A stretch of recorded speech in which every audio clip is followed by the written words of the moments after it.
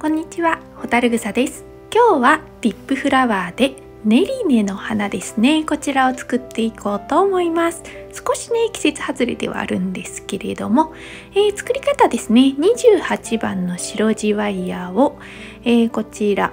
えー2.5センチゲージですね、えー、に3回巻きつけて一度ねこのようにねじって留めておきますそしてもう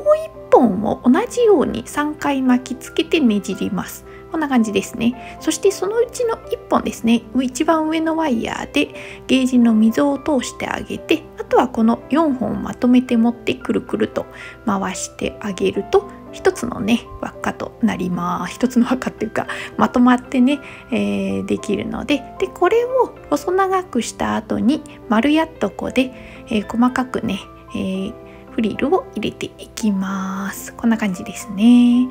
でこれを広げていきます。本当はね、えー、間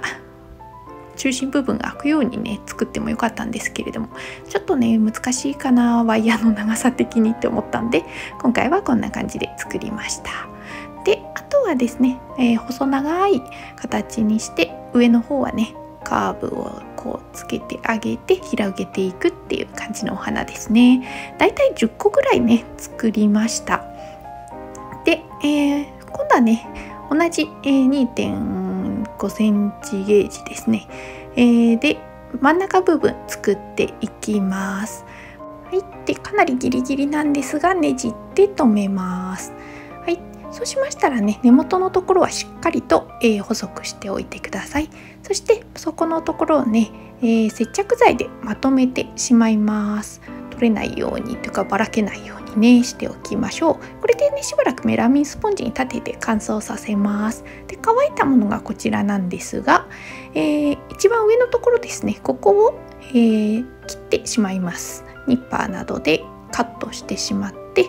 でここのところですね。まあおしべにするので、えー、平屋とこなどでねくるんとえー、折り込むような形でね先端まあ危なくないように内側に折り込んでは丸い形に今回しました。もう少し細長いね形でも良かったかなと思うのでこの辺はちょっとね、えー、いろいろ形画像を見てね作ってみてください。こんな感じで、えー、2白8本かな。えー、で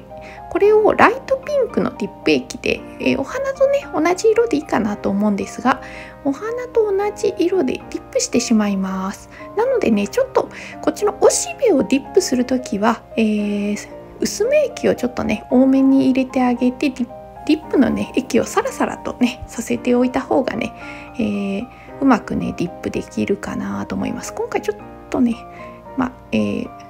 画像の時はね少し重たい感じですがもうちょっとサラサラにしちゃうとね綺麗にディップできるかなと思います。こちらもねそのままねメラミンスポンジに立てて乾燥させます。乾いたらストレンスナーをつけてまた半日以上ですね乾かしてください。で乾いたものがこちらですね、まあ、こんな感じでちょっとね多少膜ができてしまったりもするんですが、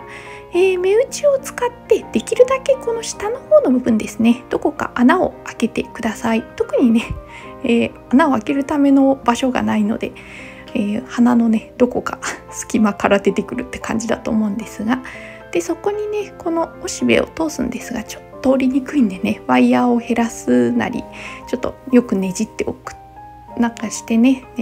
ー、うまく通してあげてください。ギュッギュッと。まあね飛び出たままでいいと思うのでこんな感じですね。彼岸花科の花なのでね、まあ、秋に咲くってって言えば秋の花なんですがまあね作ってみました。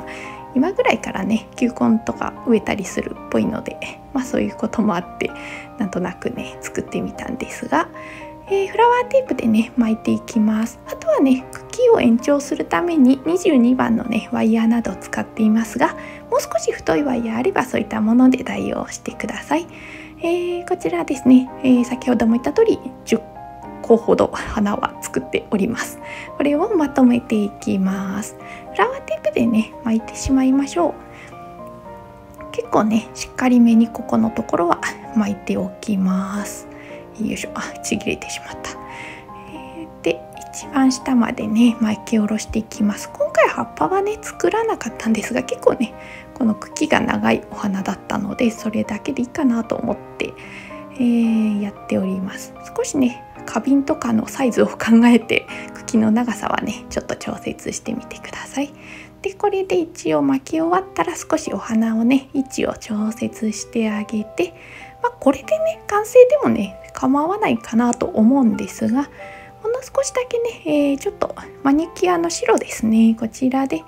えー、おしべの先端をねちょっと軽く色をつけてね今回は、えー、やってみようかなと思ったんですがちょっと悪目立ちするかなっていうやった感想としてはですけど